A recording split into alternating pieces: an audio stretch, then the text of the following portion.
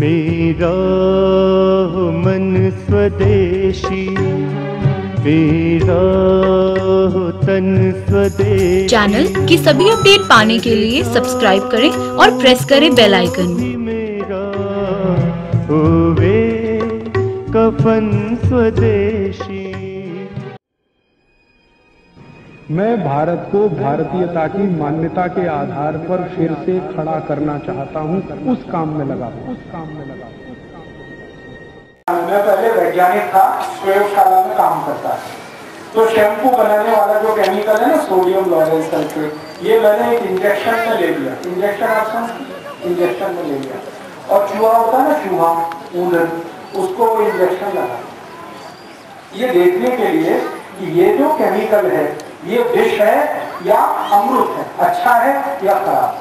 तो जब ऊदर को मैंने इंजेक्शन लगा दिया तो 15 से 17 मिनट के बाद ऊदर मर गया। मर गया। तब मुझे पता चला कि ये इंजेक्शन में थोड़ा सा केमिकल लेके ऊदर को लगा दिया, वो मर गया। फिर मैंने मेरे सीनियर साइंटिस्ट को पूछा कि ऊदर मर गया? तो उन्होंने कहा, तुम अपने को लगा दो, तुम भी मर जाओ। हाँ मेरे सीनियर साइंटिस्ट थे, जो मेरे गुरु जैसे थे। उन्होंने कहा कि तुम खुद लगा लो ये इंजेक्शन तुम भी मर जाओगे। मैं पूछा कैसे मर जाऊँगा?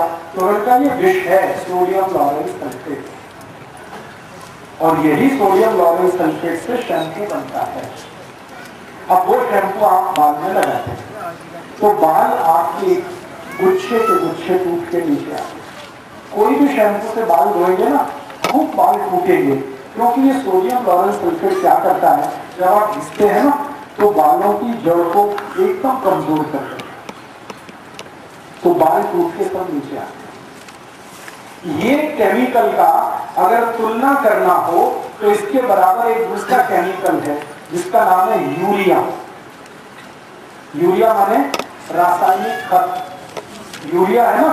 यूरिया को पानी में डाल दो, फिर वो गल जाएगा। फिर उस पानी से बाल धो दो सब बाल एक साथ टूट के आ जाएँगे एक ही बार में सिर्फ़ टकला। एक ही बार। यूरिया में इतना ही विष है, जितना सोडियम लॉरेंस सल्फेट में है। बस थोड़ा अंतर है। यूरिया एक बार में टकला करेगा और ये सोडियम लॉरेंस सल्फेट थोड़े दिन बाद करेगा। आपको माहिती है, आपके जो बाल हैं, ये हर दिवस एक हज़ार से जास्ती निकलते हैं। माहिती भगवान ने ये व्यवस्था बनाई। आपका जो सिर है ना, इस पर रोज एक हज़ार नए बाल आते रोज। एक चौबीस कास में जब आप सोकर दूसरे दिन उठते हैं, एक कास शुरू करके अगले एक कास माने एक दिवस पूरा हो जाए, एक हज़ार नए बाल आते हैं। तो भगवान ने बाल जास्ती देने के लिए एक व्यवस्था बनाई है।